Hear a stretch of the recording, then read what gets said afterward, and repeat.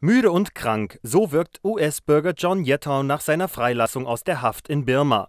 Yettow hatte Oppositionsführerin Aung San Suu Kyi unerlaubt besucht und damit die Auflagen ihres Hausarrestes verletzt. Statt sieben Jahre Zwangsarbeit zu verrichten, kann er nun das Zeichen für Liebe machen, in Freiheit. Seine Freilassung zu verdanken hat er der Diplomatie. US-Senator Jim Webb, ein Vertrauter von US-Präsident Barack Obama, hat sich für Yettow eingesetzt. Er hat der Person geschadet, der er eigentlich helfen wollte. Der Senator ist der bislang ranghöchste US-Besucher bei Birmas Machthaber Tan Shui. Die US-Regierung will ihre Sanktionen gegenüber dem Militärregime auf den Prüfstand stellen. Auch Oppositionsführerin Suu Kyi habe nichts dagegen, so Webb.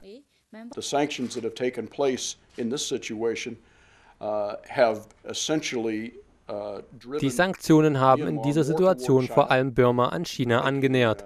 Aus meiner Sicht haben sie zudem ihr Land, das birmanische Volk, geschwächt und jeglichen Kontakt zur westlichen Welt unterbunden.